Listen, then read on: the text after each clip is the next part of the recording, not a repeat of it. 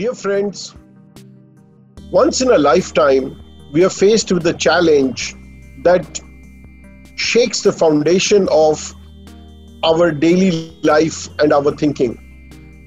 A hundred years ago, a little virus hit the world and caused immense harm to humanity. This was the Spanish flu. A hundred years later, we are now hit with another virus that is called COVID 19, and the world has been challenged in ways to deal with this problem. I'm sure you and your colleagues are as hard pressed to deal with it as we are, and indeed, people across the spectrum of the developed world.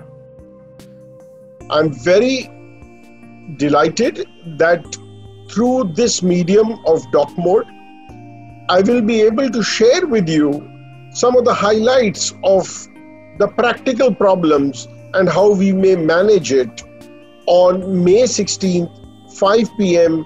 India Standard Time. The structure of the program is that it will introduce the concept of this virus, a little bit about how uh, it causes the damage that it does I will then discuss uh, some of the clinical manifestations. I'm a practicing clinical physician at the Lilavati Hospital in Mumbai, so I'll give you my practical experiences and then a little bit of prevention and a few question and answers that you may have or that your patients may ask you.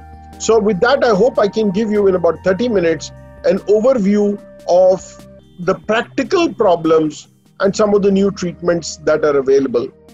I hope this will help you in providing the best possible care to your patients. I look forward to you joining me. Please do on May 16th, and we will do our best to answer as many of your questions as possible. Thank you very much.